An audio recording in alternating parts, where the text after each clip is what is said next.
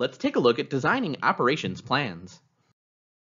Based on the organization's mission and objectives, top-level managers select the product mix and diversification.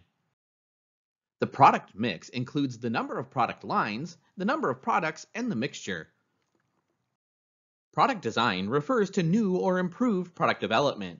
Manufacturing and design drive each other. If you lose one, you lose the other. The throughput stages must be well coordinated and controlled because well-designed, high-quality products tend to be more profitable. Time-based competition refers to the use of strategies to increase the speed with which an organization goes from creativity to delivery. The time required to complete this process is called throughput time. Being first to market gives a competitive advantage, and while companies need to increase innovation and speed products to market, they also need to have quality products to succeed. Rushing through the design process can lead to operations problems that can't easily be fixed.